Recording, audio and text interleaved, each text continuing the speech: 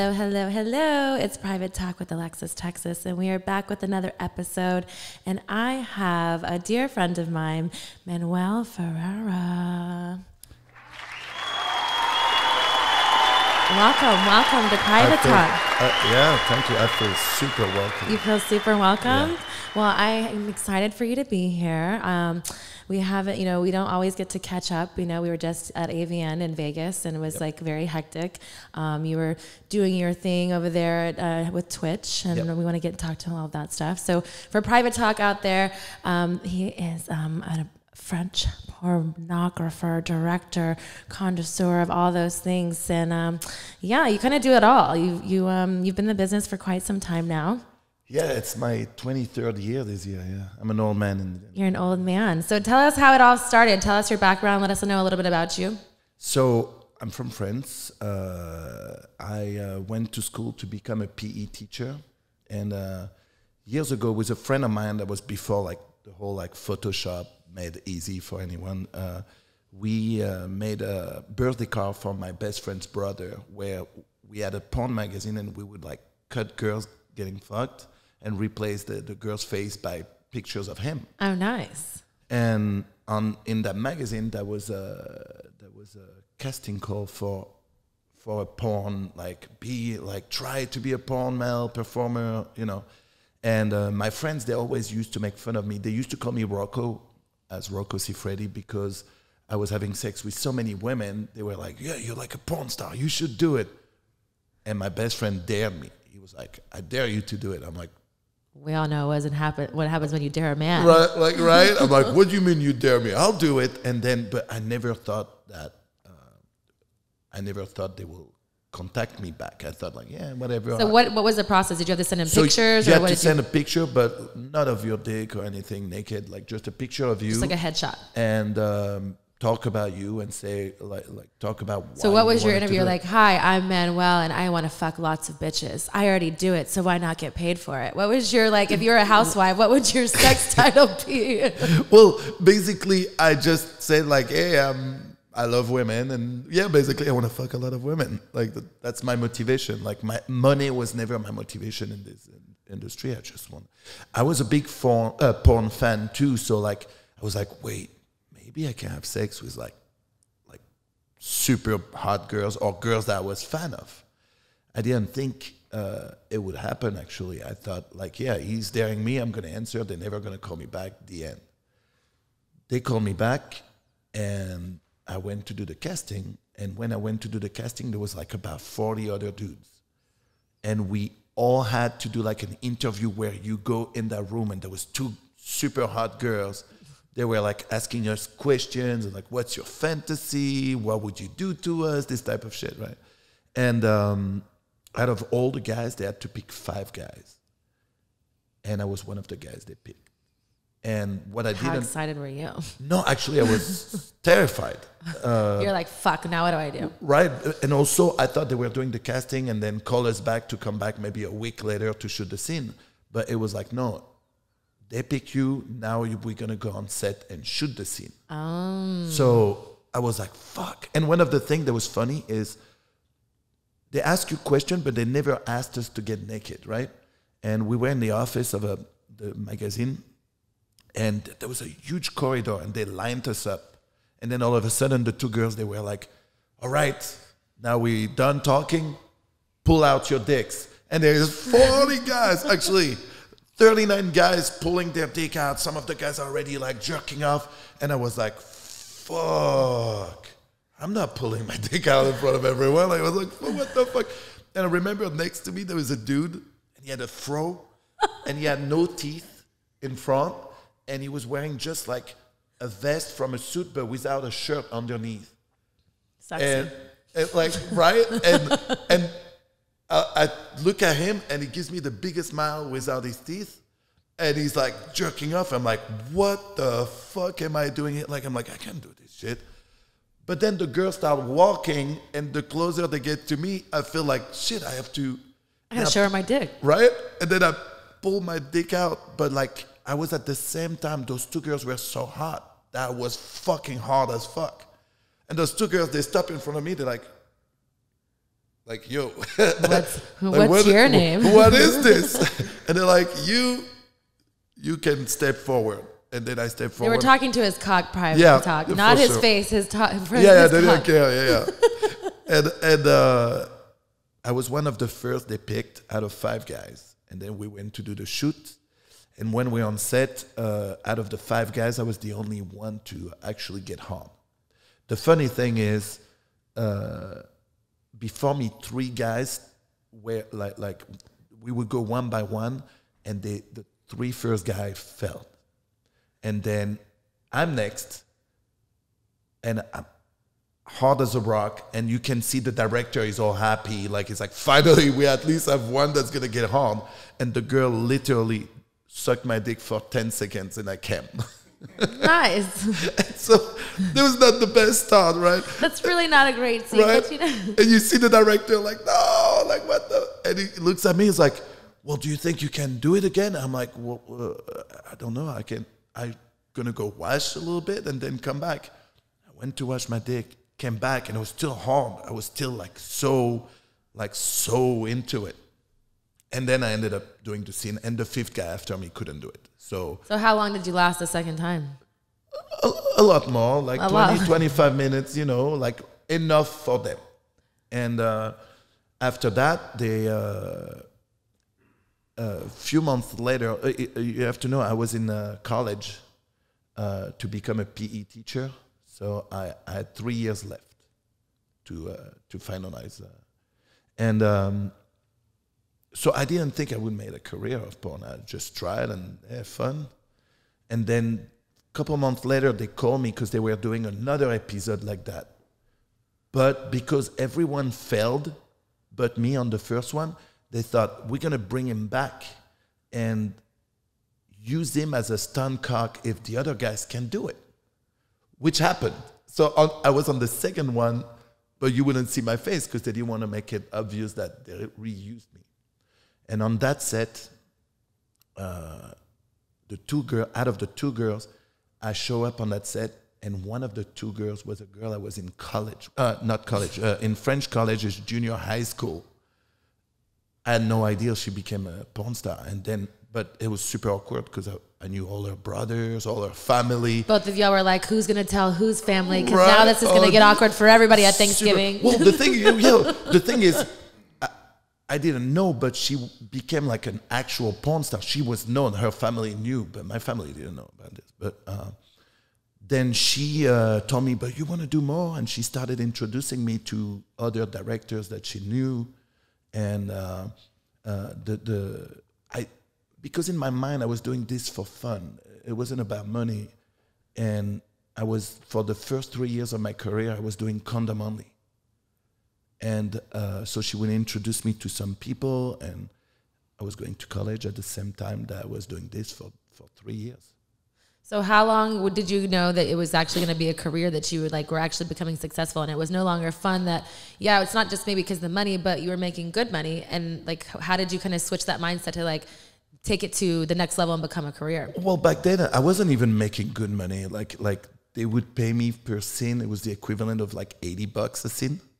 But that's better than like having it But I was a student living in my parents' you know place. Like to me, it was Yeah. crazy. Like you know, because you would you're just fucking and it's Eh, like a good time like you said like, it wasn't about the money it's about the enjoyment the like satisfaction E- exactly, because you'd be jerking off in your you know dorm room anyways For sure, for sure. And um, what's uh, what's funny is uh, uh, right when I finished school, I had to make a decision, and I met, I, I actually met Rocco Siffredi, uh, his cousin, who lived in France and uh, was shooting movies in France, and he's like, uh, he hired me to do a scene for him, and uh, it was a scene with three girls, and uh, when I was done, he was like, "What are you doing? Like." you're wasting your life. You can't be a PE teacher. Like you have to do porn. And if you want, a month from now, I'm taking you with me to Prague to work with my cousin. And in Europe, Rocco Siffredi was the number one star, even in America. I mean, yeah, you can talk about Ron Jeremy or other people, but we're talking about real performers. yes Not- he's he's a favorite of mine he's very yes, Yeah. yes. And and I know, made him tap out once. That's another story.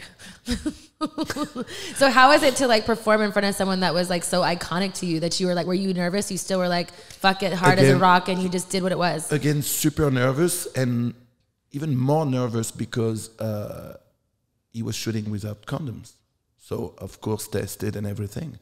And it was my first time ever having sex without condom because when i was younger i always used condoms So how did you get convinced to not? Like, was it? well i knew Did you not want to work? I mean, like, how did you make that decision to just say fuck it? Because again, it is it is a big risk. We are still tested, and it's something that we choose to do. But it is still, you know, it's kind of like Russian roulette. We never really know what's going to happen. Yeah. After um, after three years doing amateur porn, uh, I've had too many people telling me like, "Listen, like, you're meant to do this." And we're talking also about a time where there was no Viagra, there was nothing. Either you were good, or you couldn't do this job.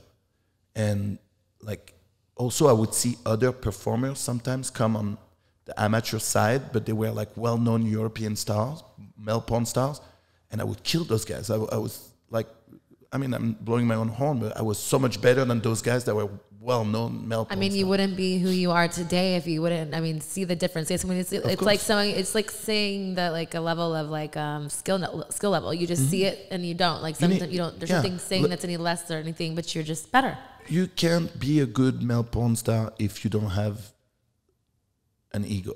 You have to know that you you can do it. If you second guess yourself, you're gonna fail. So you never second guess yourself. You've always from the beginning just went in because, like you said, it's the motto of like not money. Do you think that that's a big reason why you who, who you are is because it was never money driven? Of why like that? It was never money driven. I'm a real woman lover. I was just so focused on having sex with beautiful women and, and having fun. I never thought, well, like, uh, you know, I do this so I can make this much money, I can get a better life, I can travel or anything like that. I, to this day, do, uh, do I make great money? Yeah, I make awesome money. But it's it was never my motivation. So it's more like it was a calling, because like myself, Of course. I you know it's something that I never knew. Mine was more of we- obviously we have a different stories getting in, but it's something that kind of fell in my lap, and I was just like, I'm really good at this, and Yeah. it's like you know how do you deter from something that you know is really good, and then it's like you become a brand and a business, and a, it becomes course. all these other things, and then we're here sitting at a private talk couch, it's, and it's also because we did it the healthy way. We did it because we wanted to do it, because we like doing it. We don't have to like like be um, how you say that in English. Sorry, sometimes I lose my English, but there is no we have no problem with this industry. You, you know, I, I will never talk about bad badly about this industry, but because it brought so much to my life in a in a healthy way. My mind has always been like happy to be here. Agreed. And that's why, like with here, you know, even though, like I said, I haven't shot in over three. I say three. I've said that so many times, but like probably four years now. But you know, the business is a big part of who I am and what my brand course. was. And so I, I, you know, I not in it anymore. But I have nothing bad to say. Of my course. experience was really great, and for me, it only opened up who I was as a woman, as in a person. And it's you know, it has it doesn't define me, but it is definitely a big part of who I am. And Yeah. you know, I have you know nothing but great things to say about my experiences. So for me, it's about educating private talk about what you know our experiences are on from set to family life and all these things like that. So I appreciate you taking your time Oh, for coming here.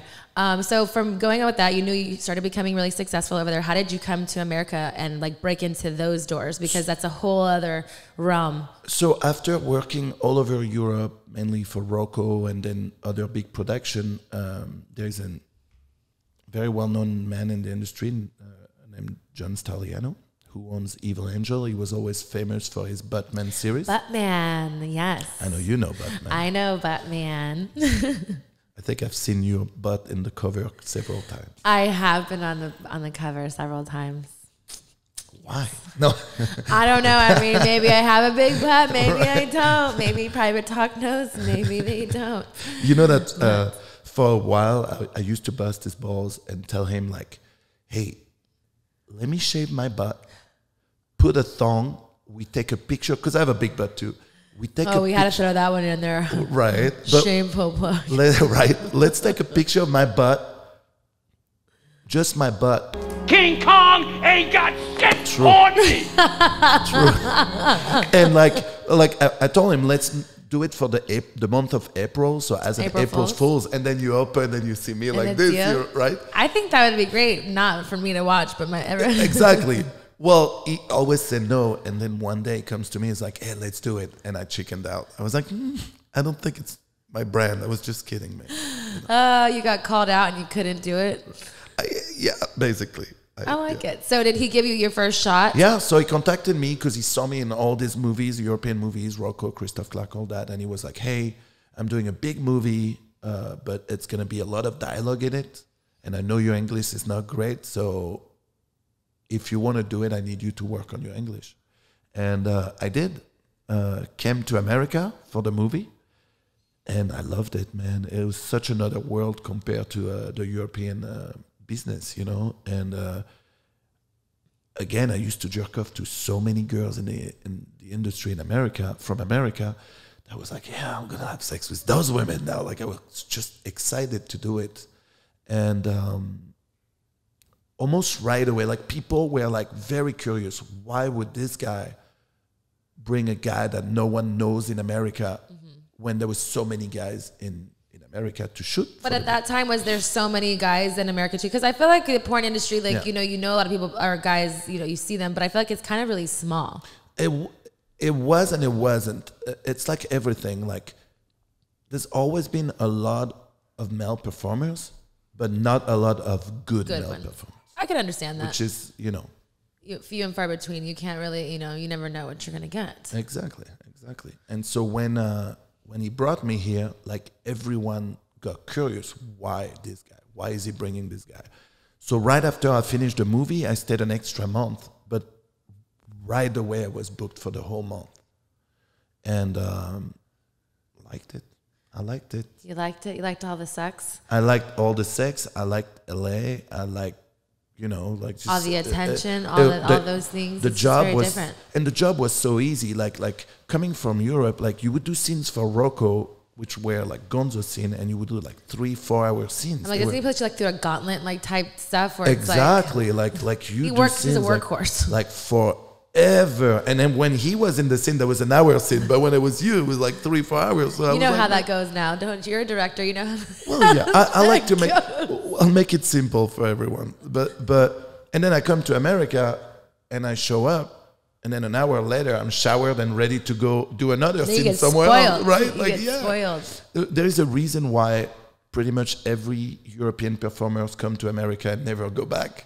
That's true though. It speaks a lot. And I feel like I mean, you know, when I was in the business, like we like when it would come over, it's like it's just a different type of sex, like a different kind of like energy and like kind of thing. And I don't know if it's because of the trainings or per se, because some of most of you guys come through either through Rocco, like when he, had, Mm-hmm. He actually had a school. Mean, not at that time when you were, but like No, that whole like the training thing. It's Yeah. like it's it's just like I don't know. It's just more of a loving, affectionate way. So I feel like it's as a female performer, I feel like it, it makes the women more. Um, I guess appealing to like let more things out that wouldn't have happened course. before because it's more of like a safe thing where it's Of like course. You're like someone's girlfriend or boyfriend, but you're not. Mm-hmm. It's like you know, and then you have porno girlfriends and boyfriends, and it becomes an establishment of like how your comfortability level, which Of goes a little bit further Of course. of what that is. if you if you're having sex and it works the same like for men and women like if i work with a girl and she makes me feel special i'm gonna want to give her more and it's the same thing the other way if i can make a girl feel special she's gonna give me more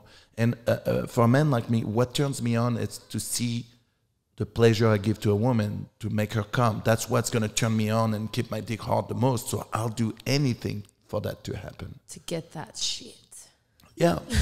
and so by doing that, also, you get to have girls that really like working with you and ask when they can to work with you. So it's also like how I became successful in, in America is because like directors and producers like me, even so, even though sometimes I can be a diva and a pain in the ass, I have things I You a diva? No. don't hate.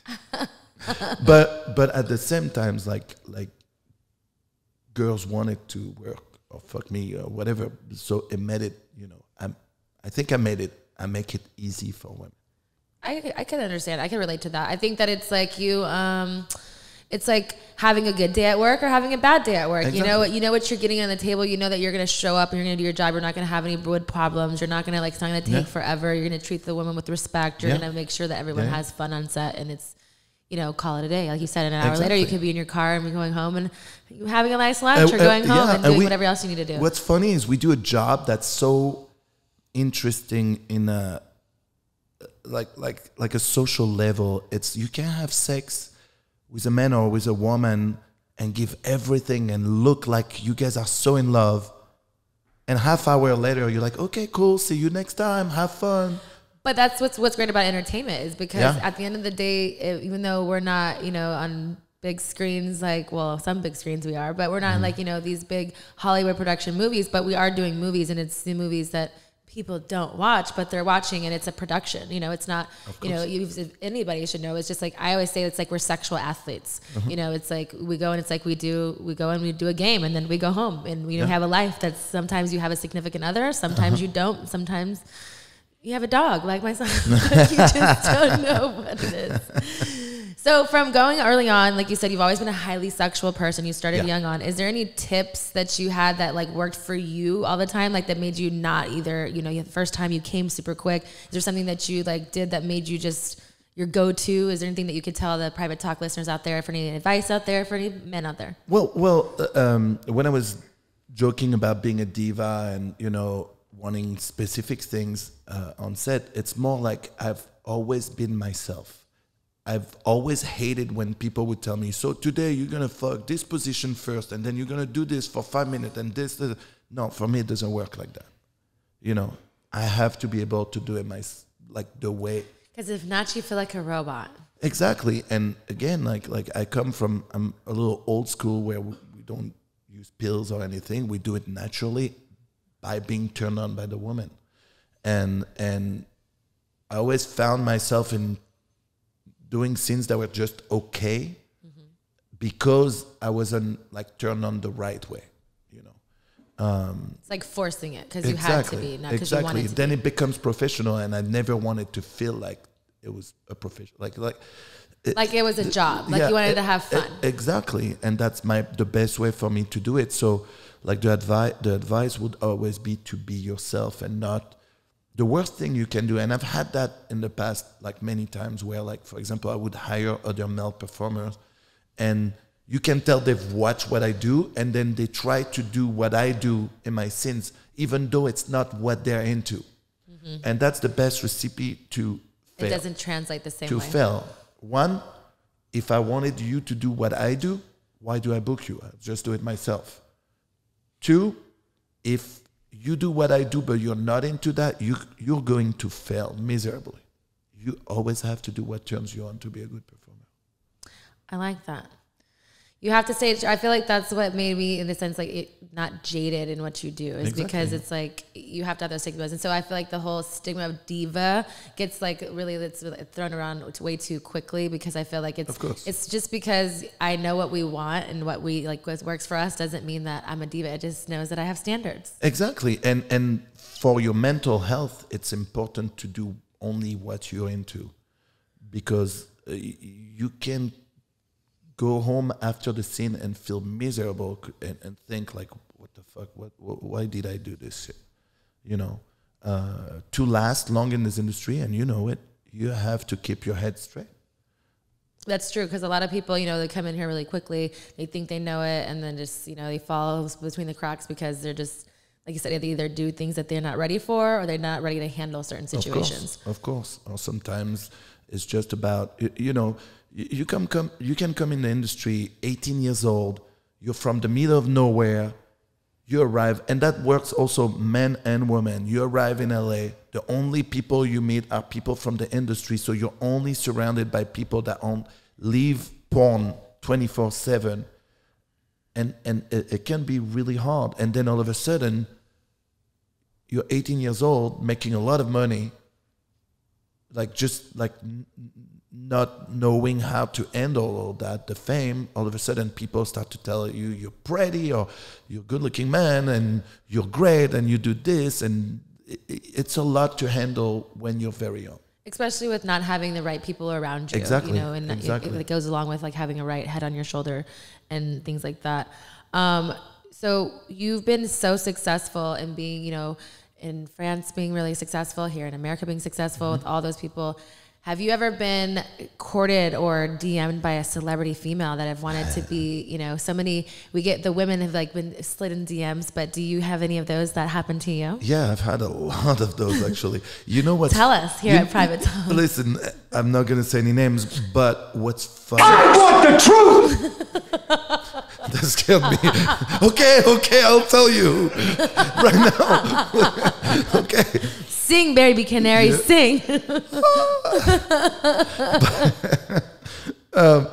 No, I've had a lot. You, you know what's interesting, and uh, I'm sure you get a lot of like crazy DMs and people sending you weird shit, but women go way further than men.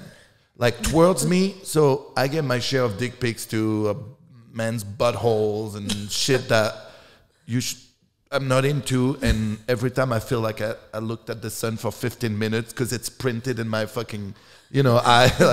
but You see white spots Right, like- everywhere. like and that. like, why did I do this to myself? I'm in the shower crying, you know.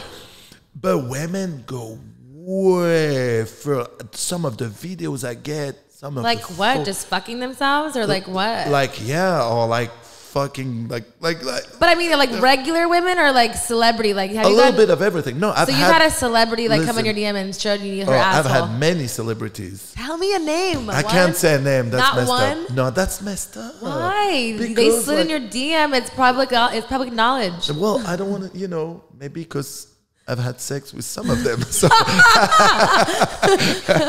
So, so not can we get a number count? How many you've had sex with celebrities from? We don't have to know their names. It's the celebrity sex tape number. I had a, at least like ten celebrity. in- They- did they pay you? Different level. No, I don't. I don't. I'm just uh, kidding. I no, know no, but like some people do it. Like, listen, again, it's not a money thing. It's never a money thing. Sometimes. So I'm- you actually did you have a crush on any of these celebrities that like slid in your DMs and said, Yeah, like, there was a couple of them. look at your eyes like Yeah, like, there was, no, there was a couple of them. I remember like seeing that girl in a movie, and it was like, like the people in these movies with her were like, which movie? I'm not gonna say the movie, like good try though, but you know, and and dude, and I remember seeing that movie, and it, it was a crappy movie, but I was like, man, she is hot as fuck.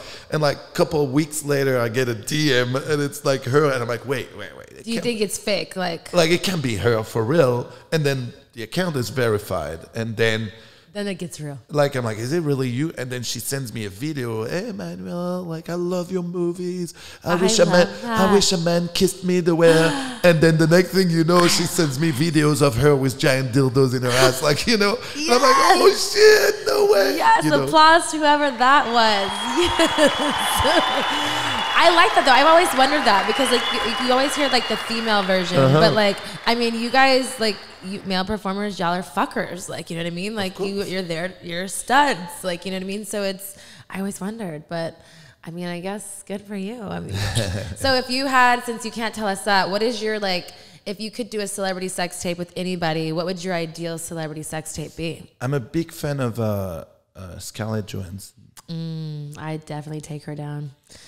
She's Uh, hot. yeah you know who i like to Would you have like a? Would that just be just you and her? Because I mean, you're yeah, kind of like I like, a. I like you one-on-one like it all o- I like oh. one-on-one sex. No, you've changed these times. Yeah, well, no, like it doesn't mean I don't like the rest, but I like, you, you know, um, there's the things you can do and like doing, and there are the things you love doing. I like my attention to be focused on one person. I like that too. Like we were talking about another episode how there, she, the person had said that they had never been with two men, and I was like, I've done it twice, but this keeps you busy. But you know, I'm I like, I'm a pleaser. I like to do one thing. It's just a lot of things going Yeah. on, and I'm selfish, so I like it to be about me. So you know, And- right? And then, but then also sometimes, like, like you don't realize that you're giving more attention to one or than because you're other. into what you're doing, and it's not like Or sometimes I, I, I've had scenes in the past where like I'm gonna work with like, two girls, one I never had sex with, and one I already had sex with a bunch of times, and I'm gonna tend to You- go a little more mm-hmm. towards the one I never you've already had felt sex. that pussy. So it's like You you, know. know. and nothing against the other girl. I love. I still you just want new you know, pussy. You're just you- like a man. It's like you know, a little kid in a candy store. You want to take one lick of that pop before you like go to something else you already know that's convenient. That's the right way to say it. So, do you have like a crazy sex story that you've that have never talked? It could be on set. It could be on in your personal life. I don't know how story. crazy you get in your personal life. I don't. I don't get crazy at all. Like I don't either. That's why I was. I felt I'm like I'm the prudest person. I don't have like- sex anymore. It just happens. you know? Yeah, well, now I'm in a relationship, so it's not like when I was single and fucking pretty much everyone I wanted. Uh, but um, no, I don't do crazy. I had funny stories like where. Okay, you- what's the funniest? Well, well it, when um, long time ago, I was single, and you know we would all go to conventions, in Vegas, and things like that. And some of my friends from France would come, but they have nothing to do with the industry. Mm-hmm. And then all of a sudden, it would be like orgies in my room Because you're Manuel, and you call one girl, they're all coming. Literally. True. Thanks. I'll give you a check later. Like you should be my PR. I should hire I you as have, a I have a lot of catchphrases for you that have been really great. You know, you should hire. Yeah, me. I should hire you as a PR for me for sure. But uh, it, it was always awkward, and and those org- orgies, I would always end up not fucking. So you started them, and you're like, "All right, I'm out." Well, it was just like those were my my friends. So you Some of them I grew up with. Great and wingman. I felt like it was so awkward to fuck next to those people. Mm. You know what I mean? Like, like so no swords touching. not only that, like like for example, I don't bring friends on set, Okay. especially if I'm performing. Yeah, it's awkward because Be- it's like you're naked, you're fucking. It's Yeah, it's, it's- it's it's vulnerable. very weird. I mean, it's kind of like why we stopped working together. It got True. you know we worked together, we did really good scenes, but then when we became like friends, like Exactly. it became like. I could just make fun of you like my big brother, and it's like I don't want to see your dick. You don't Uh, have a dick to me exactly. It's- anymore. it's- I'm like, you don't have a dick anymore to me. I'm sorry to say that, guys out there, but No, I, I, I get it. Like, like, like, I felt the same way. It was awkward. Like, we didn't even have to say, "Hey, we're yeah, gonna stop working it's just together." a mutual respect. People, was like, exactly. people will call me, and I'm like, "I'm sorry, I can't, I can't." And You people know, really thought they're like, "What happened? What did he do?" Yeah. I'm like, "He didn't do anything. It was just the fact that it's like when you become friends with someone and not just someone friends you see on set, and you're like in someone's home and their family life. Exactly. It's hard yeah. to like be like, "Yeah, I'm gonna go fuck you later." Like, I don't know. I maybe call me fucking wrong. I don't know. no, no, I know. And also, like, like I know you were very jealous of my singing voice, Jealous just because. just just because I'm a great singer, and you were like, "Man, like." Private talk. If you want to know what this man is talking about, I hope you guys are liking and subscribing to this channel because I'm about to school him right now. but um, see, so when we were our part of our friendship, I used to host these like parties, and we would have um, karaoke nights, and we would Awesome do parties. American Idol and like DJ Hero and all these fun games because it's fun to be a big kid. And um, we definitely went to Hollywood several times. So his name was Baby Canary because he thinks he sings like a baby canary. I feel like my Uh, voice is uh, the exact. Cr- just picture this: the voice of an angel and of a baby canary mixed together. That's my voice. And my that's what you have here, guys. You heard it first. Actually, I've heard it several times, but you're gonna hear it on private talk. So, can you give our listeners out there like a like a singing voice? Well, but that's can you messed up, like, can you give it? You uh, need something playing back. n- no, here's the problem. Okay, we just came Oh, back you're from scared. Vegas. Oh, you have the Vegas voice. I have the Vegas voice, and it, it's not fair. I think like maybe we'll come back and do it. So part two. Part maybe two. maybe we should do, you know, we'll do like a, a singing challenge. Yeah. You know, you do have a lot of platforms other than just in the industry. You do Yeah. Twitch. Tell private talk what that's about because I've been Yeah. on there and I was on a dancing part. Maybe I Yes. need to go and do singing. We and, need to do and we can do this and I can sing and, And- show you how great you're not. And you guys need to be on Twitch too. That would be great, so people can watch you watch this live. It's yeah, I think it'd be fun. Yeah. So what do you what do you do so, with Twitch? So basically, twi- what Twitch is, it's a originally a gaming platform. So it's like webcamming, but instead of like uh, Playing video games. showing your boobs or your ass or your dick, you you show your gameplay. But Twitch has evolved so much now, where there there are different uh, type of channel, and some people they also have what they call IRL's channel, which is like you go out with your friend and it's a live feed of you guys going out having fun discover talking to people you know there is a section called the just chatting channel which i do a lot where it's you talking to people and different topics. That a lot of people do great podcasts too. And it's no gaming. It's just you're And- talking one on one. Yeah, and, and not necessarily gaming. You don't have to do a channel for gaming on Twitch anymore. Okay. My channel is it's called Manuel Ferrara TV. Follow twitch.tv slash Manuel Ferrara TV. I'm There plugging my shit. You should. That's why we want Yeah. it. And uh, my channel is a mix of all that, which I do uh, gaming, but I do also uh, every Friday afternoon. I do uh, not today, but uh, I do like a advice show with another French streamer. We do a thing where we get actual calls from people, Nice. and they tell us their story or they ask us for advice, and we joke with them. We don't make fun of people. We we make fun with them of the situations or like we explain things to them. And uh, it's pretty cool. But i also do like i do a lot of uh, sports. So i do a lot of basketball training that i stream. I play tennis on stream too. And like like so it's really a multi-section Very interactive. channel. Yeah so it's fun. It- it's such a huge passion for me it's also like a form of therapy for me like i do this Because you're a big kid too. i am a huge and that's kid. the thing is what I like too is because like what we do too is which you know we're big kids all the time, but it's like we do things that we love. It's something that's like we. I know myself as I never wanted to go to a nine to five. There's people Mm-hmm. out there that I you know more power to all of you, but I'm just a free spirit where it's like if I wanted to express myself sexually or in gaming or like the podcast, it's like Yeah. I just fly.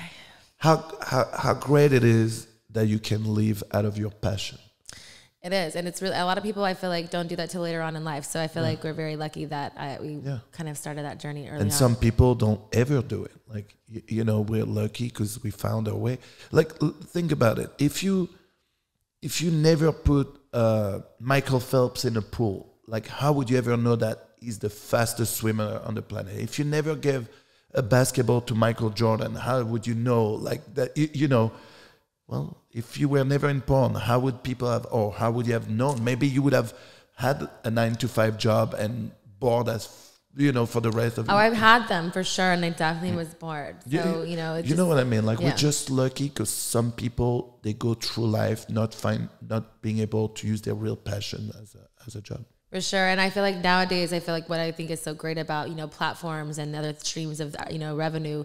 I feel like it's kind of given people more free will to go out and do those things. Where before Yeah. you kind of were kind of stagnant because you didn't have a lot of things that people have accessibilities to, from the streaming to YouTube's to all these like uh, online stores and Of like all these things that you know different things are going on. Um, with all that you have going on, how do you keep you know your porn life and, and at home life? How do you keep that in you know intact? That's what's beautiful about the adult industry and the way I do it is I have the s- for example my crew have the same people. You know my crew. It's like Chris Stream and Kramer and Tony Flush. You know, um, Glenn makeup artist. So I don't have to be behind them. Those people are with me doing my movies for like the last 15 years. So I, only need to be on set for like two hours because they take care of everything for me. I don't need to be there for the pictures. I'm not the photographer. My photographer takes care of it. He knows his job. He knows what I like. He knows also that I'm an asshole. So if he doesn't do what I like, I'm gonna like throw a tantrum.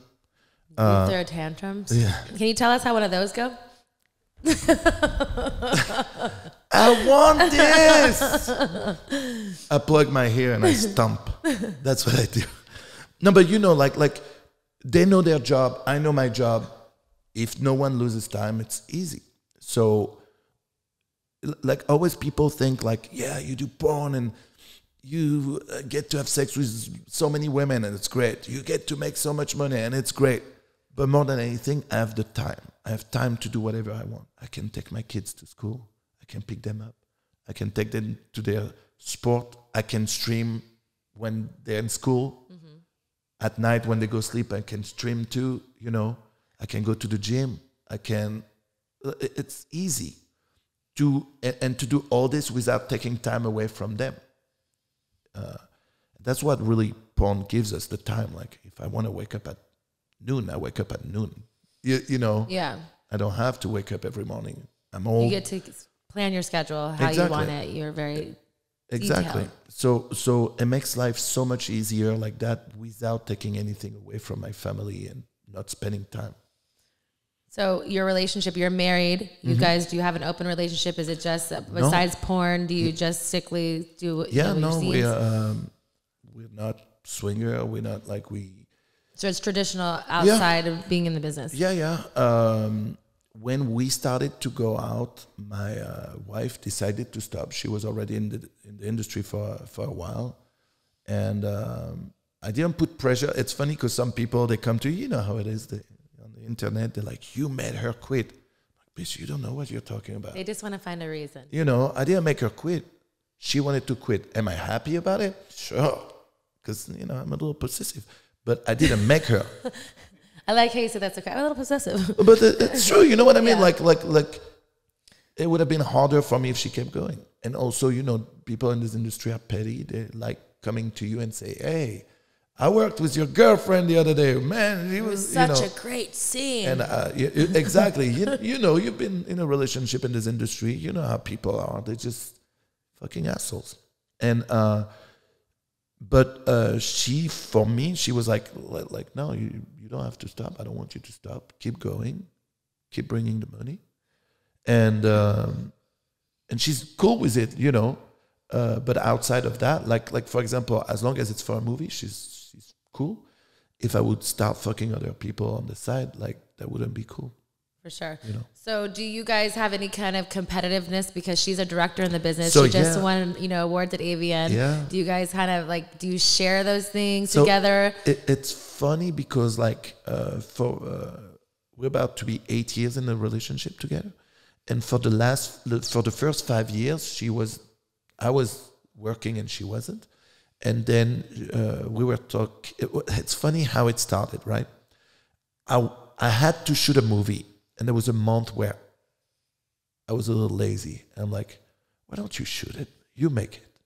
You do whatever you want. Like you direct that movie. She directed a great movie, and she loved it. And so then we started talking, and she was like, I might start a company, and she wanted to go in, in business with another person that she was friend with, which I thought was a terrible idea, but she still did it, and then ended up splitting. But very quickly, uh, I realized how good she was at it, at, it, because she's also a pervert, but she pays attention to detail, and what she does is really like magnificent.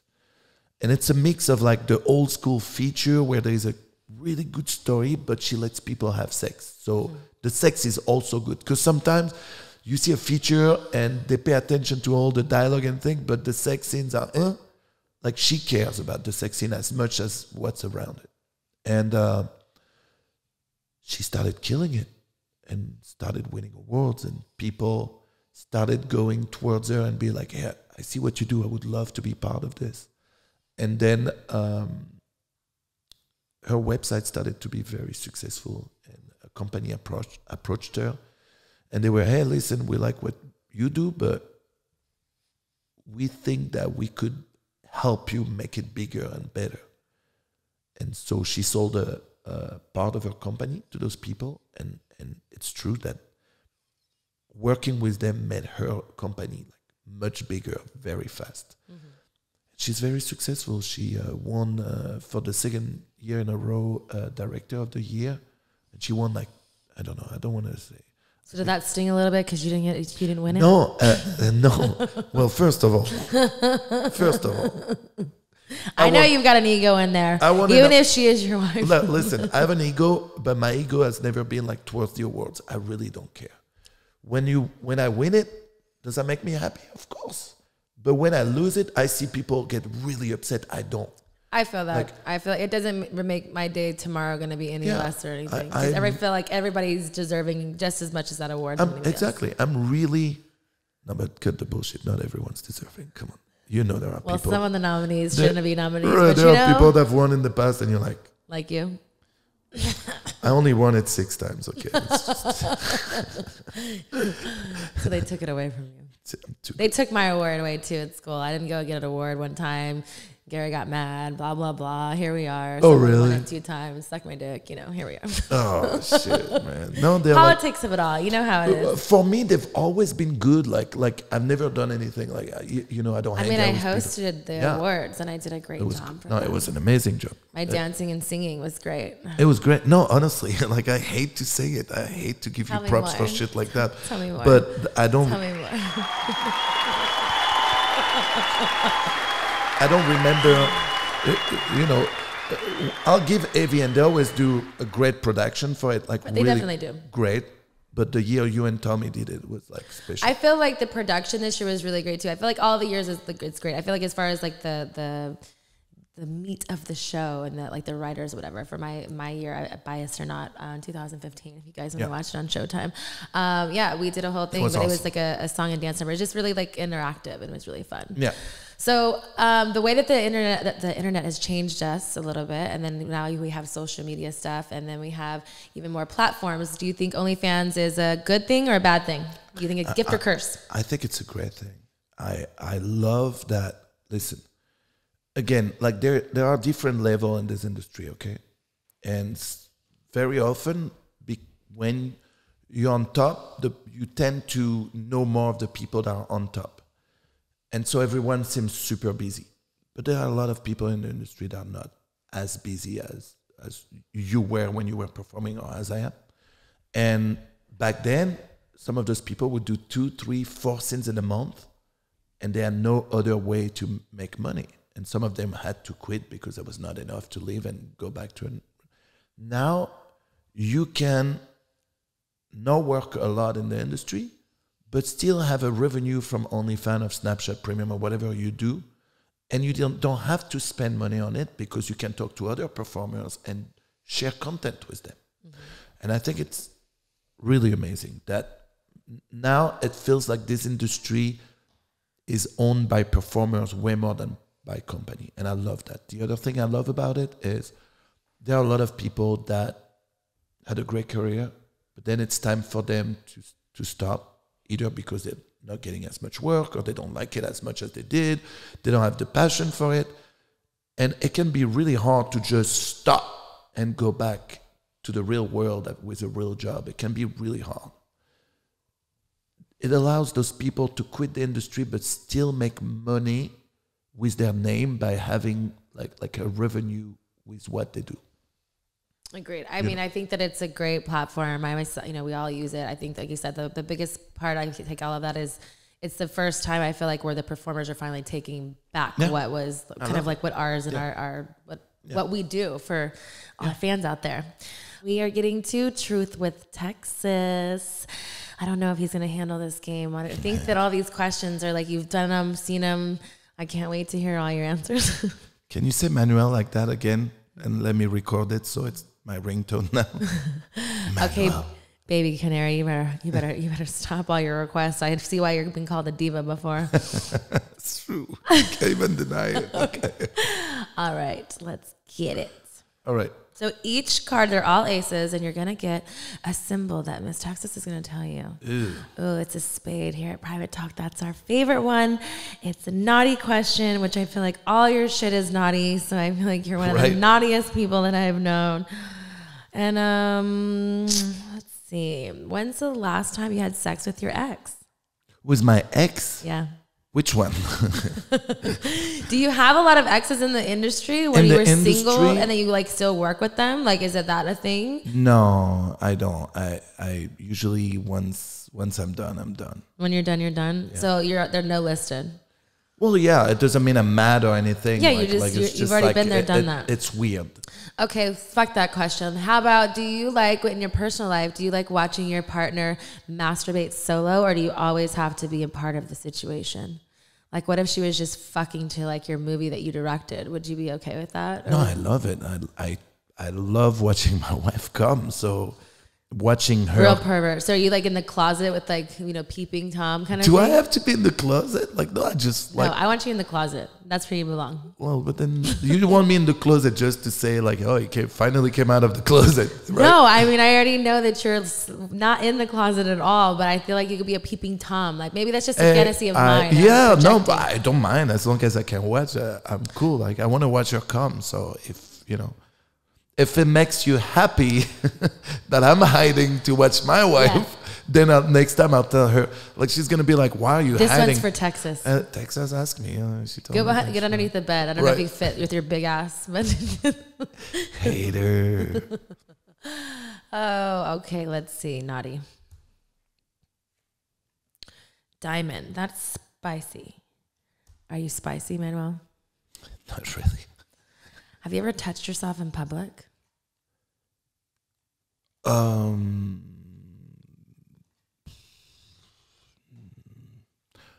Well, yeah, but it was like the setup was, you know, does does in a swinger club count as in public?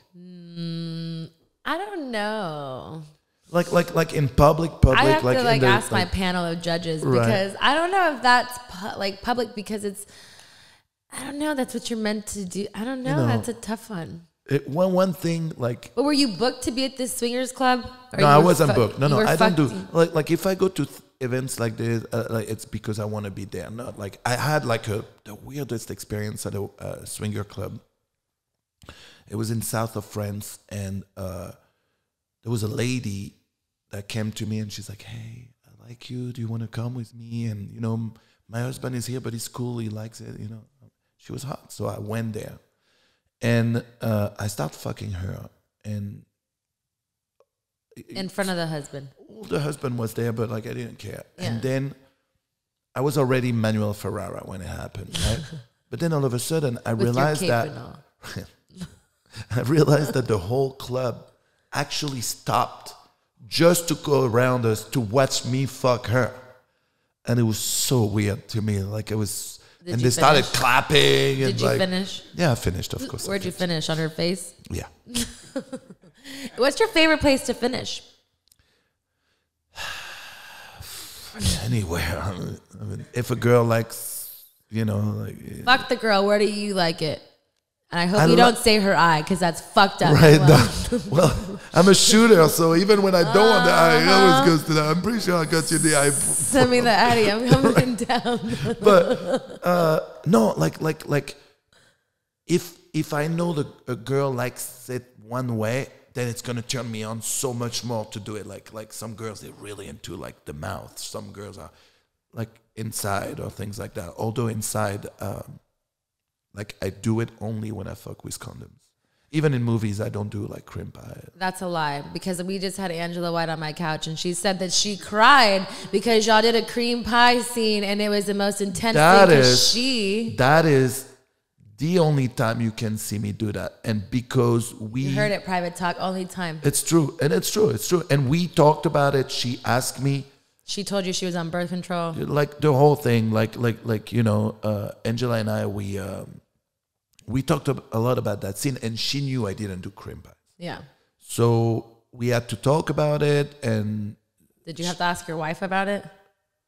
not really because it's not my wife that asked me not to do But it. But it's something that no, I'm not saying that she doesn't have to, but I feel like it's a something that you should, as a couple, if that's something that's like you don't do, I feel like it's something that's just a, something that's Yeah, communication wise. May, maybe I should have mentioned it. Like like I, I I don't know if it was that important because it, it was never something. She cried, Manuel. It's important. Well, yeah, but I The can't act control. of. I can't The act of. control. Yeah, I can't control. Do you do that Uh, only because the fact that you just don't trust the girls in the industry as far as like doing those types of scenes? Yeah, anything can happen. It's not necessarily about trust, but like you never know. Like I'm always surprised when I hear a girl is not on birth control in the industry. I'm like, oh, eh. I already have four kids. Uh, I'm I'm okay. I'm okay. You know. I like it. So you're not coming inside her. Got it. Nope. Hearts. That's the romantic one. Uh oh. I'm French, so that's my expertise. Did you ever have a crush on a teacher growing up? I had a music teacher when I was a kid, and uh, uh, yeah, I liked her. but it was like like really like innocent crush.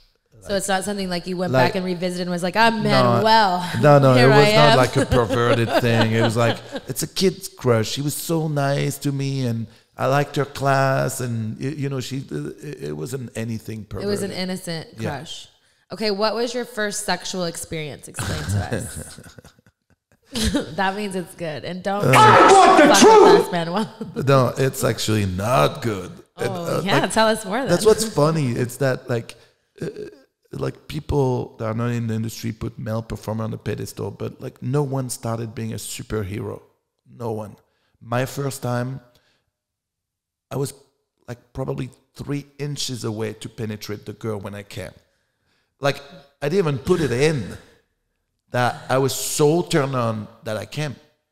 And a little bit like my first time in like porn. pre cum or like came No, all the like way? like the whole The money shot. Like right, the whole thing. And and what's funny is a little bit like my first time in porn. I went to clean up and came back, and then I was ready again. So I was like, "Oh, let's do it." You're like, again. this isn't stopping me. and, I'm ready. and then I killed it for at least two minutes before I came again. Trust me, like, uh, I, How uh, many times have you came in one session? Uh, well, it depends because I, I've done a lot. I've came a lot jerking off.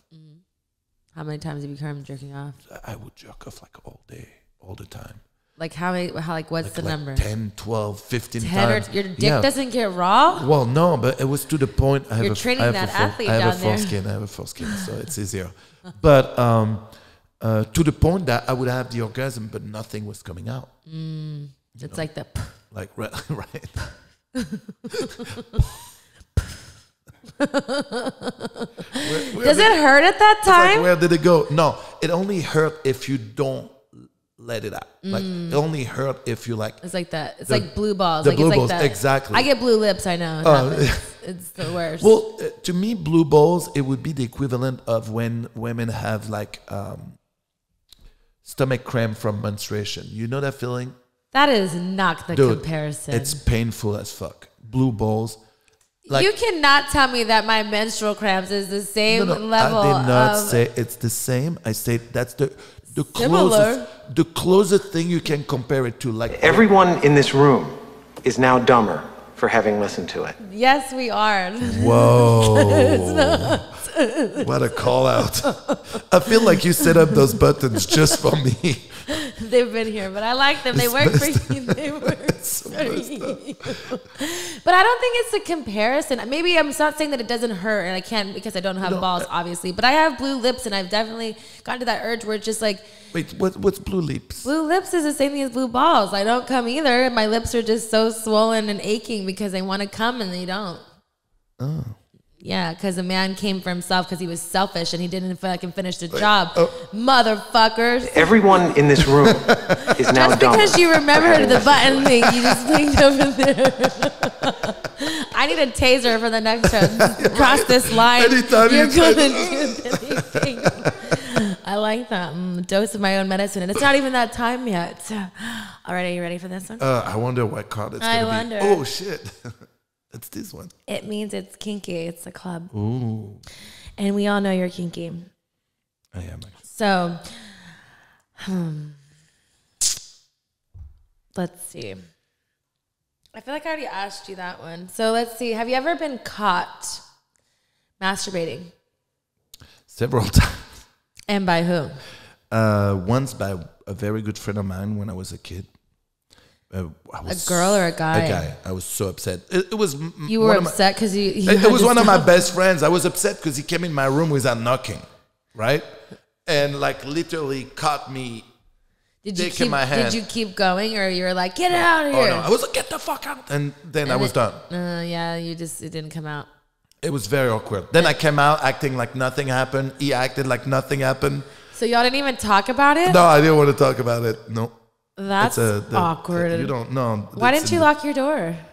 Uh, because I didn't have a lock on my door back then. Mm. You know, I lived in a very polite family that knocks at the door when you want to go in. Oh, so you would never get caught by your mom. Mm-hmm. No. No. What happened whenever your mom found out that you actually were not going to be a PE teacher and you decided to do porn? It, it was very awkward because um, my mom, uh, uh, born and raised in France, but my mom is uh, Spanish. She was born and raised in a tiny, tiny village, like super, like religious type people, right? And um, also, I was the only uh, kid in my family, the only person in my family that actually went to college. So I went from like the pride of the family, the chosen one, to the dark. is in college. Okay, to be a P teacher, but still is in college, right? But to uh, so what does Manuel do now? That's the only thing. See that to me, I've never been ashamed of my job. I've never been like like I never felt like I was doing anything wrong, and I'm not. But I know that sometimes when people would ask that to my mom in the beginning, it made it very awkward for her. That's the only thing that hurt me. That Yeah. I never wanted to make my mom feel like that. But at the end of the day, I feel like if your parents love you, it doesn't matter what you do for a living. As long as you're healthy, you're not hurting anyone, you're not doing anything that you, you, you know that's crazy. Even though porn for some people is crazy, that's all my mom cared about. Is it was like because when you don't know the industry, you only go by either imagination of what you've heard in the media, and they never talk good about what we do, right? For sure. So Perception is everything. are you doing drugs? Did, like, did you get raped? Oh, like you know, shit like that. No, What happened to you that you decided to do porn? I remember I used to get that all the time. I'm like, Yeah. nothing. It was my decision. Yeah. No one forced me. I decided to do it because I wanted to do it. I like to do it. It's how I express myself, and, it's a form of art. Yeah, and the majority of people in our industry are like that. Uh, it would be wrong to say that there aren't people that go in the industry for the wrong reason because it happened, but it doesn't necessarily come from like the porn industry. There are people like that are like um, how you say that they come already with things that happen. They have. the They already were- have things know. that are that they've dealt with that that that they're just bringing it to the table. And- it's not yeah. because of porn. and and sometimes getting into Baggage. porn with this baggage can make like either amplify it or for some people it can be a really good therapy True. you know um yeah i it, listen there is always bad stories but trust me the majority of the people in the industry they are come happy and they love doing it. And they know like you're surrounded by good people that care about you and want you to be happy and For sure. And uh, I respect your honesty. You're a porn legend. Thank you for your knowledge. Thank you for Thank you. coming to Private Talk. Is there anything that, you know, that you would say that changed to, your, to yourself, to, if you could say to your younger self, anything that you would change different as advice coming into the industry or anything in life? I I uh, I don't know. I wouldn't say anything to change anything. I would just I would just say like enjoy. Enjoy. All right, Private Talk, you heard it. Manuel said you better enjoy.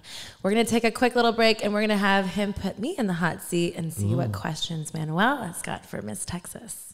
So, what questions do you have for me in this hot seat? I've been grilling you. I've been asking you all these questions. I know there must be something you have to ask yeah, Texas. actually, I thought about that when you told me I, I will ask you questions because I've always know, knew you as um, as a performer, but I know you've directed movies.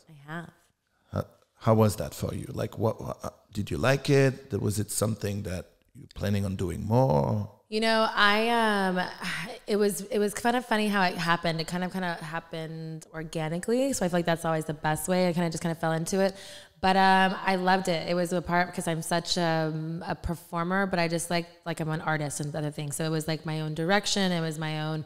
You know, from the wardrobe to every detail, it was just very like the location to Picking like the people. every the picking the people, like what like my envisioning of the scene was, and so like I really got into like the more artistic part of it, uh-huh. um, because it's like you as a, a true pervert, you have all these like ideas in your head, or you've done you know fantasies or scenes that you outdo, but you didn't like when it comes with your own.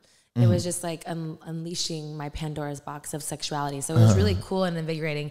And I felt like I was maybe a little bit too hands on at first because you don't know from being the performer director. You're like, Literally hands on. literally at one point I was talking like not the very first one, but towards the end, I because it stopped. In the beginning, I was uh, actually performing still. The, the last one I did, I wasn't performing. So it was um.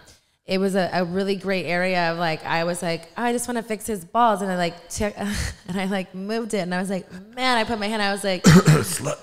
I was like ah, no I'm sorry I'm do you have consent I'm sorry I'm like I don't know I want to fix his balls. I, because it was like stuck. You know how it is. It didn't look nice, and I was my first time like, and I shot camera for the first time too. This last one, so I was really like putting all my all in it. So I'm like, hold on, and I probably spit too. Did the guy come? Did the guy come? He did, uh, you know, and he had no problem. balls. He had no problem. Well, he didn't come when I touched his balls, but Right. he didn't have problems with me doing it. I just, it was just the line. Who would have like like sorry, Yeah. but who would ever have a problem with you touching the balls? Yeah, but there's also because I'm a director and like you know you don't want to like cross people's boundaries because what if I made someone feel uncomfortable and that's the last thing I would want to do. But I will say all the other ones I did like do a I was in a bikini for the part of the other one. I had my ass on that. I was like, oh, you have what problems here? Just here's my tits. I'm a, I'm a helping hand. It's okay. J Mac for sure like saw my tits. I think I even like I was doing the whole like we were doing POV like thing and he was like leaning against me. He's like, this is much easier leaning against a girl the uh, director than it is a guy director because he's like leaning and I'm like holding it. But it was just really cool for me. I feel like it just unleashed a lot of things that like I didn't know I could do. And so and then like seeing that come to life on like a movie and people purchasing it and getting feedback, it was just uh-huh. kind of really surreal and cool. So I feel like it was just kind of It's like your elevating. baby. You know yeah, what I mean? Yeah, the first Like, one really was. Picked everything, and I, I used to get very offended when like there would be reviews and people would be like, "Yeah, it's a good movie." I'm like, Good. What do you mean It's not good? great. It's- exactly like it's your baby like you decided everything about it and no one wants to hear their baby's ugly or even just good I would never have an ugly baby. right True. But it's like I feel like also too, or it's like how you may have portrayed it and then like they didn't get it, or Yeah, then you're uh, like, uh, no, yeah. but that's not how it was. Like That- I remember the first one, like the box cover for me, I did it with Jada, um, and it was I had this whole scene in my head, and it was like we like painted each other's asses with paint, so it was like a paint thing, and it was like pink and purple, and it was like this huge great thing. And like we made these like canvases that looked like butterflies. It was beautiful. But i don't know like to everybody else i was like but that was like the best thing ever. I don't know how well everybody else loved it but i fucking loved it. You loved it. That's good. Yeah no i definitely like it though. It's it's definitely i like being hands-on. Mm-hmm. that's good. Would you uh would you ever like want to be part of like uh, like a like a co directing production with my wife for example Oh, I see where this is going.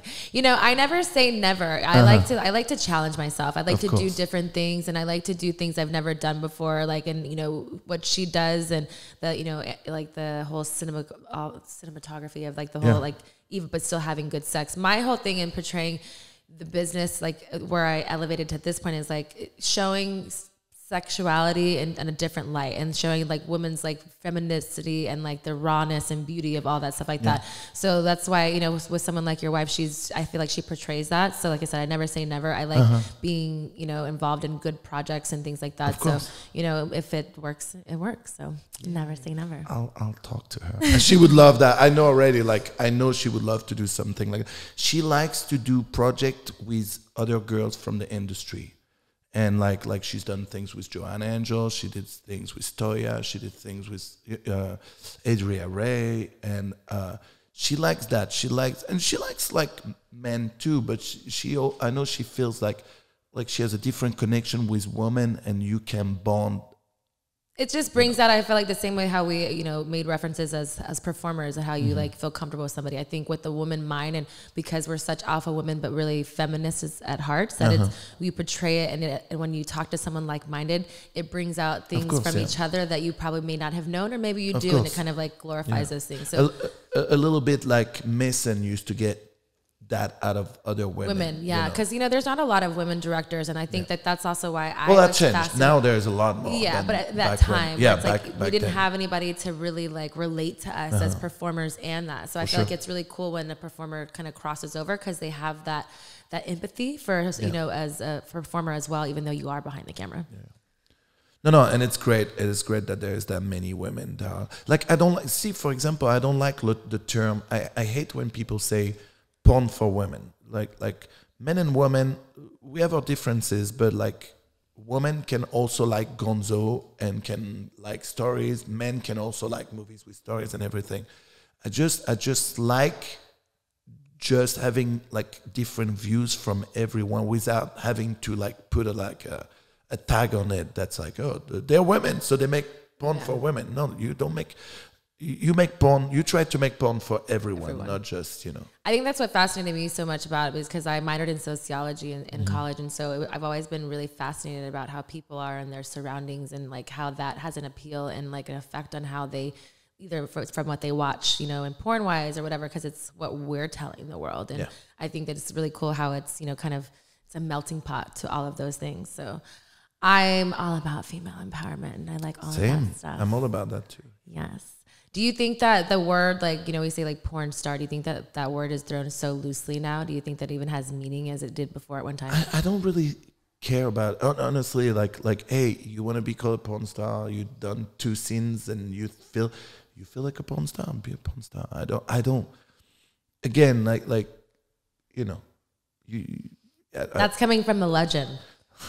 even that i'm like How does that feel i'm just you? an old man when, Because I feel like when you hear that word, how does that make you uh, you- feel? Uh, it makes me feel old. That's all it makes me feel like. I remember it takes me back when I first came to America and I, I met Mark Davis for the first time. And I was like, "You're a legend." He was like, "That only means I'm old." And now I live this, and I'm like, "Fuck, I am Well, old." I think that it's much more than just being old. I think it's a respectable thing. You've done a lot of great work and you've done a lot of scenes, you know, even with myself that have brought mm-hmm. things out in myself as a performer and just being in a safe, comfortable zone where nowadays you never know what you're going to get with a performer on set, you know, and a lot of people unfortunately have had things that happen on set that aren't even happy and not good, like good and bad. And I feel like I'm fortunate to have uh, have had a safe place to work in always and really been with performers like yourself. So again, thank you for taking your time and coming on My Private great Talk. pleasure.